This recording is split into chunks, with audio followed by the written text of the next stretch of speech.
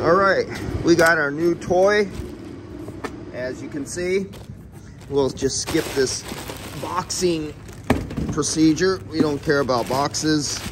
We don't care about labels or instructions. Actually, read your instructions.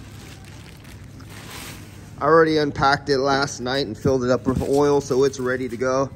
So if you've seen all my other vehicles, uh, videos, uh, this is the new Fieldpiece. You've seen my old beat up dirty unit that I've been using for years. Well, I decided to uh, update because I always need more vacuum pumps. I never could have enough vacuum pumps.